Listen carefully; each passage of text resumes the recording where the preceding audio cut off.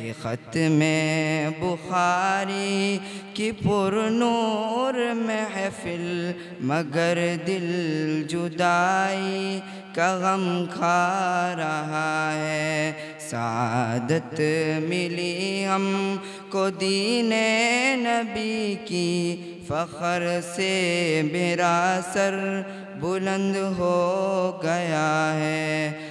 अल्हम्दुलिल्लाहिल्लज़ी फ़ज़्ज़ल बनी आदम बिलइल्मि वलअमल अला जमीइल आलम वस्सलातु वस्सलामु अला मुहम्मदिन सय्यिदिल अरबी वल अजम व अला आलिहि व अस्हाबिहि यनाबीइल उलूमी वल हिकम अम्मा बाद वाजिबुल इहतराम मुक़्तदर मुअक्कर हज़रात उलमाए कराम व मंदूबिन इज़ाम और सफ़र की सऊबतों को बर्दाश्त करके इदारा हादा जामिया अशरफुल उलूम महमूदाबाद केंद्रापाड़ा उड़ीसा में तशरीफ़ लाए हुए जुमला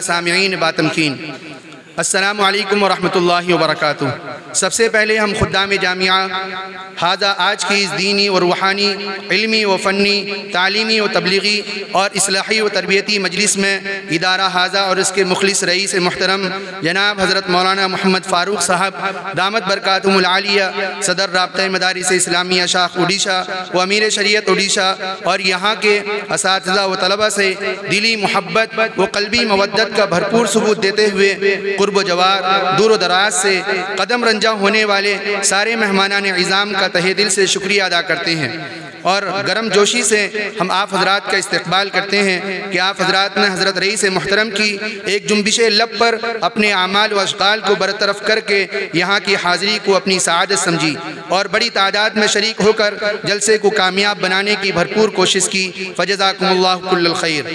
बादहू एशिया के अजीम इदारे हरकस वनाकस की दुआ का महवर, इल्म फ़न का एक शहकार गहवारा, मर्द मोमिन की शान, हमारे ईमान की पहचान मसल के दियोबंद का हसन हसीन, सुन्नत नबविया का पासबान, अकायद अमाल की दुरुस्तगी का अलम्बरदार कौम मिलत का सही तर्जुमान, असलाफ़ व अकाबिर की रूहानी तासीर व नज़र का मरकज़, रहमत खुदावंदी का मजहर अतम, फ़िरक़ ज़ाल्ला व बातिला के लिए आहनी दीवार, उम्मुल मदारिस, मादर इलमी दारुम दियोबंद से तशरीफ़ लाने वाले लाइक सत तज़ीम तकरीम।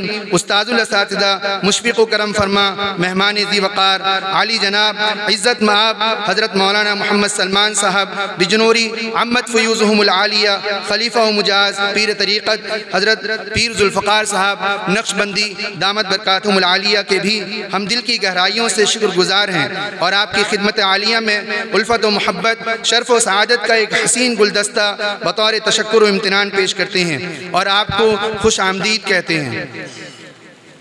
हज़रत सामीन आज की शाम बफजल खुदावंद करीम, नहायत ही तस्को अहतशाम के साथ हमारे ऊपर साया फिगन है।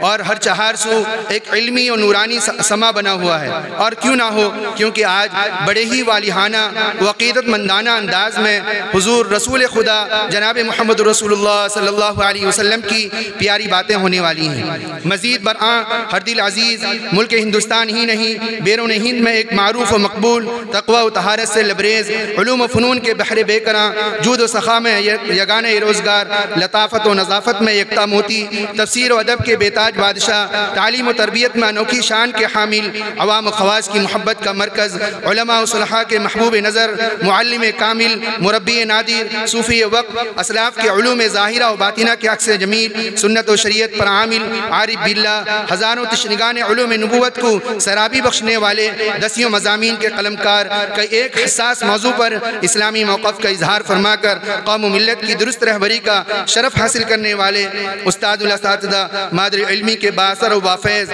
उस्ताद हदीस व अदब व मुदीर माहनामा दारुम देवबंद जनाब हज़रत मौलाना मोहम्मद सलमान साहब बिजनौरी दामद फ़यूज़मलिया भी आज की इस इनफरादी कैफियत से पुर महफिल में जलवा फरोज़ हैं, जो हमारे लिए खसूस और सुबह हाजा के लिए अमूमन और यहाँ के बाशिंदगान के लिए हज नसीबी की बात है। हज़रत आखिर में हम आप तमामी सामीन मुस्तमीन से अदबन दरख्वास्त हैं कि हमारे दरमियान बहुत ही अजीम शख्सियत मसंद हदीस पर तशरीफ़ फरमा है, जिनकी बातों में अल्लाह ने वाक़ता बड़ी कशिश और तासीर रखी है। सुकून मतानत, संजीदगी और यकसुई के साथ अज अव्वल तखिर हज़रत मेहमान ज़ेवकार की बातों को समाज फरमाएँ, अपनी ज़ाहिरी और बातिनी हालत की असलाह की फ़िक्र पैदा करने का आज़म करें। अब मैं बिला तखिर बड़े ही अदब एहतराम के साथ हज़रत उस्ताद मुशफ़ तौफ़ी करम फरमा। मेहमान मुकरम की खिदमत अकदस में अर्ज़ करता हूँ कि हज़रत वाला अपनी मारूज़ात क़ीमा तासुरात इल्मी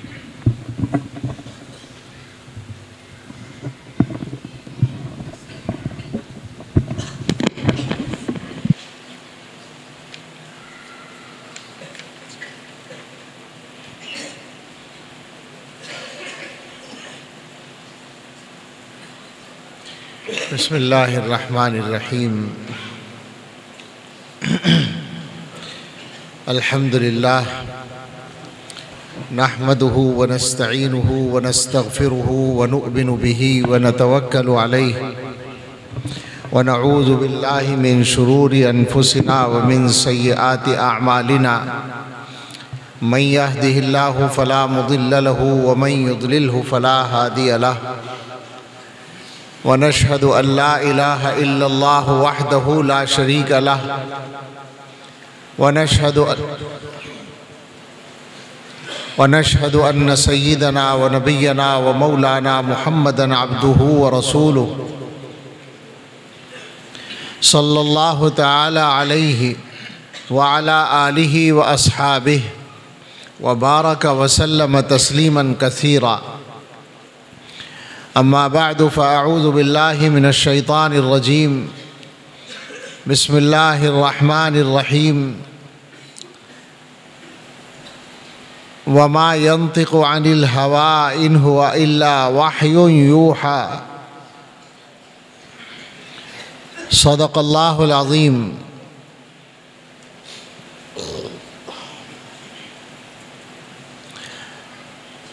अन सुफियान बन अब्दुल्ला रदी अल्लाह तह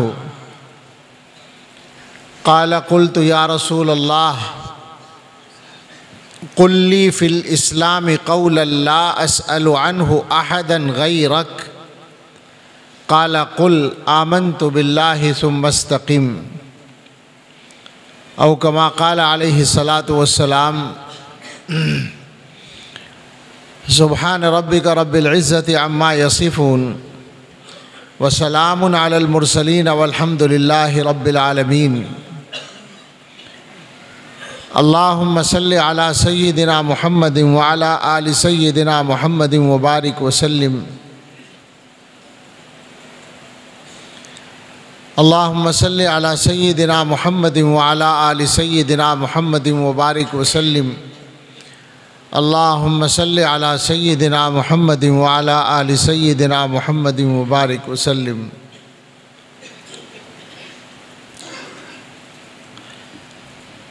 साक़ी दहली के मस्तों ने बर्ज़ देवबंद, जब रखी बुनियाद मैखाना बतौर यादगार, दौर दौरा सागर सहबाए तयबा का हुआ जुरा नौशान अज़ल, आए कतार अंदर कतार। कासिमो महमूद अनवर ने लुढ़ाए खुम के खुम। अपनी वसात के मुताबिक पी गया हर बादा खार।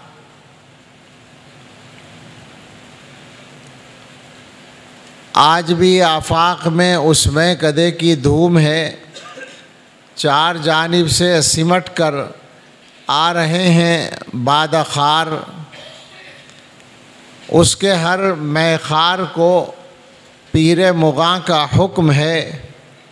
बा बा खुदा दीवाना बाशो, बा मोहम्मद होशियार।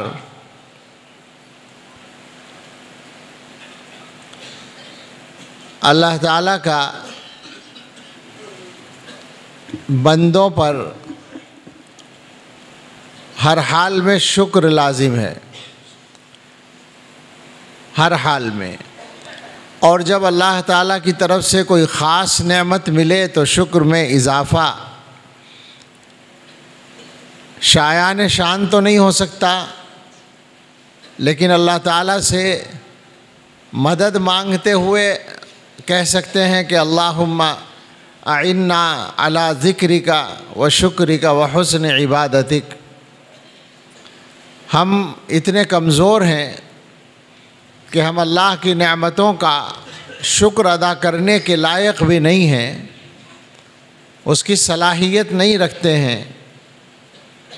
बल्कि सही बात यह है कि अल्लाह ताला की नेमतों का सही एहसास सही इदराक और बर वक्त इदराक और फिर उनके शुक्र अदा करने की तरफ़ मुतवजह होना, इसमें भी हमसे कदम कदम पर कोताही होती है।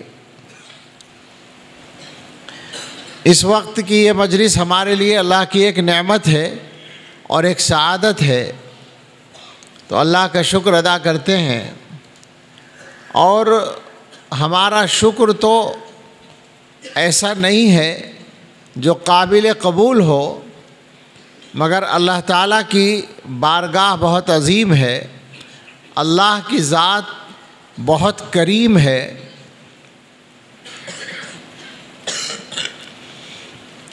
अल्लाह ने कुरान करीम में वादा किया है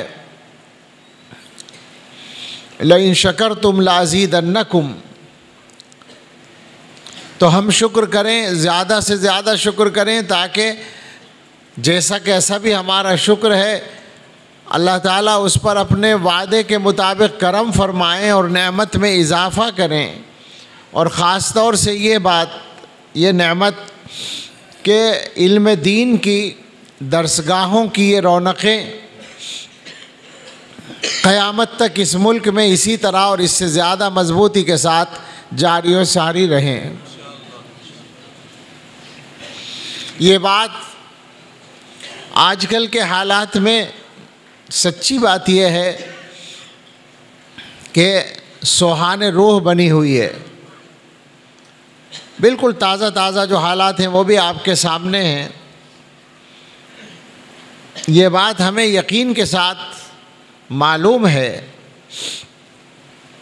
कि अल्लाह के दीन को कोई ख़तरा नहीं है। अल्लाह की ज़ात को, अल्लाह के नाम को, अल्लाह के पैगंबर सल्लल्लाहु अलैहि वसल्लम को, अल्लाह की किताब को कोई ख़तरा नहीं है। ये बात पक्की है।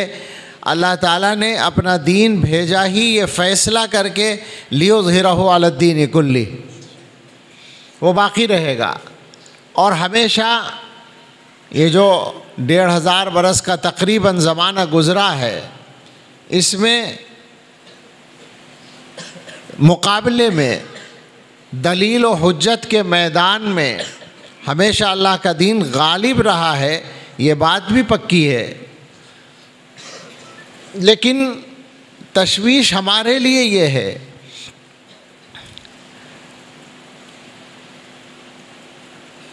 कि हमसे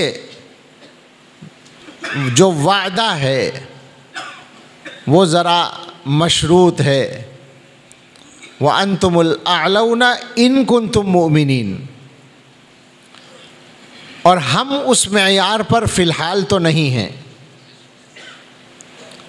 मैं हालात पर तफसीली बात नहीं करना चाहता, लेकिन चूँकि कोई भी इंसान हो तो उन हालात से उसका मुतासर होना और फिर उसमें कोई ज़रूरी बात अगर जहन में हो तो वो कहना ज़रूरी है।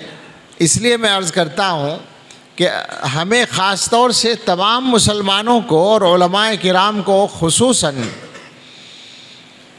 ये बात अपने जहनों में भी रखनी चाहिए और उम्मत तक पहुँचाने की ज़रूरत है कि अल्लाह की ज़ात बेनियाज है। इसलिए डरते हैं और डरते डरते दुआ करते हैं और बहरहाल अल्लाह के सामने ही हाथ फैला सकते हैं। इस पर हो सकता है दोबारा आखिर में कुछ बात हो जाए।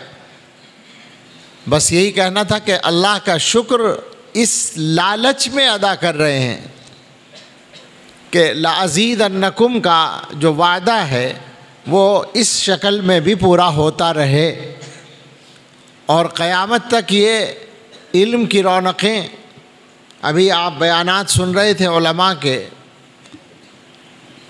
उड़ीसा के ये मौकर कराम, दो दो चार चार मिनट में मुख्तसरा बहुत सारी मजमून का ख़ुलासा पेश कर रहे थे। मेरे सब मोहतरम हैं, मेरे सब बड़े हैं और ये नज़रात की तोज़ो है और ख़ास तौर से रईस जामिया हज़रत मौलाना दामद बरक़ातहम कि मेरे जैसे वाक़ता मामूली तालब इल्म को इस उनवान से यहाँ बिठाया। मौलाना हमारे जो अज़ीज़ हैं मौलाना मुफ्ती सालज़मा सल्ला ताला, इनको तो मैंने ये दुआ दी कि चलो जजाकल्ला खैरा, लेकिन असलाह मकालक। तो इन्होंने जो कुछ कहा, वो ज़ाहिर है कि इनकी तहरीरी सलाहियत का या इंशा परदाजी का सबूत था, वो बस और कुछ नहीं था। तो इन हजरात ने जिन चीज़ों की तरफ़ इशारा किया, खुलासा पेश किया, बस मुझे तो बार बार यही ख्याल होता है कि अल्लाह की ज़ात बेनियाज है, उससे मांगते रहें कि ये रौनक़ें इल्म की और दीन की, जो हिंदुस्तान में मजबूती के साथ और इतनी मजबूती के साथ कि आखिर का ये ज़माना बाज़ पहलुओं से नमूने का ज़माना बन गया। दारुल देवबंद के क़्याम से अब तक का जो ये वक्त है। मुझे याद आया अभी मदीना तय्यबा में एक कुतुब खाने में मैं गया किताबें देखने लेने के लिए तो एक वहाँ जो कारकुन थे, वो यमन के कोई साहब थे, उनसे मैंने एक किताब को पूछा तो उन्होंने कहा कि तुम कहाँ से आए हो? मैंने कहा, मिनल हिंद। तो कहा, आओ बलदुल मुहद्दिसीन। उसने एकदम ये लफ्ज़ बोला। तो मुझे ख्याल हुआ कि हिंदुस्तान जैसे मुल्क को एक यमन का रहने वाला आम आदमी बलदुल मुहद्दिसीन कह रहा है, ये हमारे अकाबिर की कितनी बड़ी करामत है और कितना बड़ा कारनामा है। इसी तरह से शेख मोहम्मद अवामा मुहदस ने दारुल देवबंद में जो मुआयना लिखा था 2010 में शायद वो तशरीफ़ लाए थे तो उसमें उनके एक जुमले का ख़ुलासा ये था कि दारुल देवबंद की जो उम्र है बेतबारी उमरी हज ज़मनी का लफ्ज़ था, यानी गोया डेढ़ सौ बरस की जो उम्र है उसके एतबार से दारुल देवबंद के काम बहुत ज़्यादा हैं। फैज़ बहुत ज़्यादा है। हकीकत ये है कि इस डेढ़ पौने दो सौ साल के अरसे में आलम इस्लाम बशमूल हिंदुस्तान जिन हालात से गुज़रा है और जिस तरह से हुकूमतों की तब्दीलियाँ हुई हैं, उन हालात में हिंदुस्तान के अंदर कम से कम नमल बदल मिल गया था दारुल देवबंद और मदरसों की शक्ल में, और उसकी वजह से उम्मत महफूज हो गई। दीन तो हमेशा महफूज रहता है, मगर असल मसला होता है उम्मत का दीन पर कायम रहना। तो ये बात हालात के तहत चूँकि जहन में मुसलसल उसी का बोझ है, इसलिए ये बात शुक्र की तमहीद में मेरी ज़बान पर आ गई। अल्लाह ताला अपना फ़ज़ल फ़रमाए और अपनी नेमतों से हमें महरूम ना फरमाए। ये मौका है बुखारी शरीफ से मुतक़ तकमील का और बाद में अफ्ताह का भी। सच्ची बात यह है कि बुखारी शरीफ का लफ्ज़ हो और हम बैठे हों तो कुछ ताजुब सा होता है और बस यही समझ में आता है कि अल्लाह ताला की सत्तारी के बड़े मज़ाहिर हैं।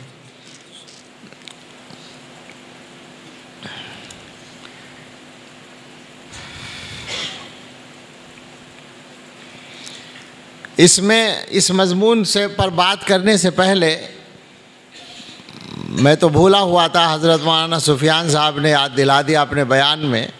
तो मेरा ख़्याल है कि मैं हदीस मुसलसल बिलवलिया पढ़ कर अपने अज़ीज़ तलबा से बात कर लूँ थोड़ी सी उलमा से तो गुस्ताखी करने की हिम्मत नहीं है।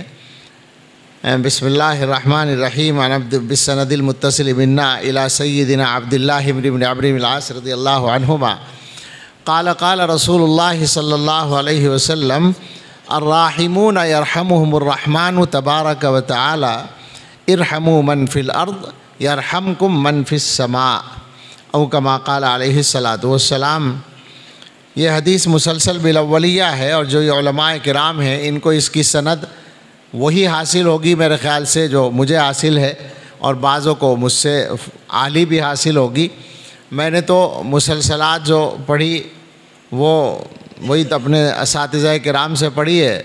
और मज़ाहिर में हज़रत शेख अलमुहदस शेख यूनुस साहब जौनपुरी रहमत से पढ़ी है।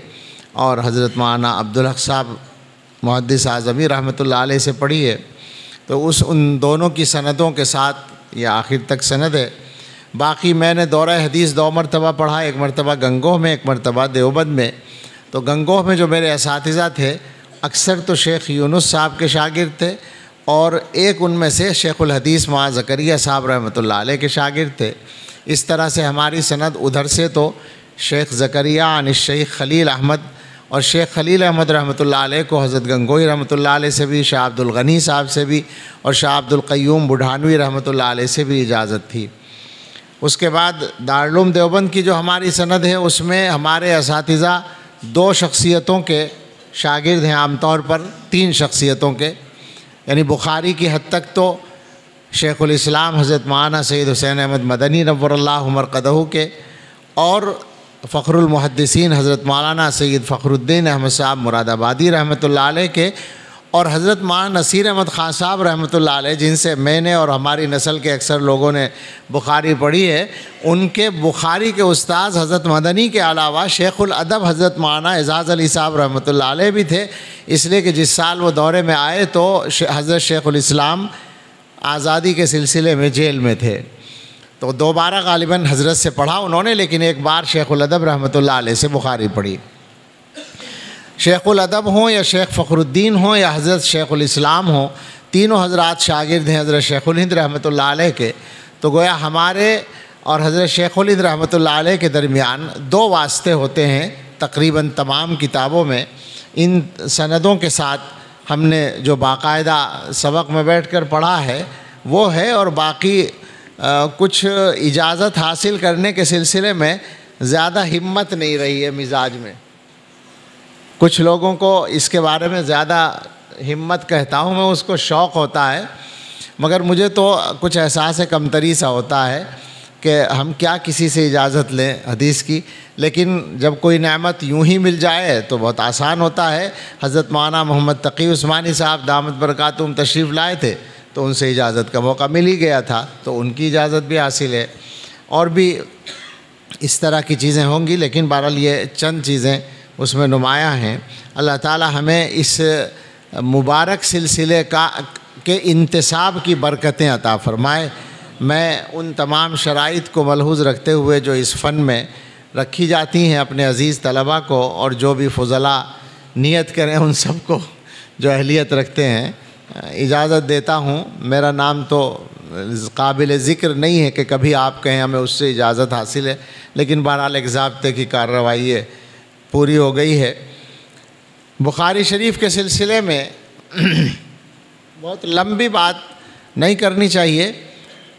इसलिए कि जितनी लंबी करेंगे, पूरी नहीं होगी। एक बात तो ये और दूसरी बात यह है कि हमारे पास है ही कुछ नहीं।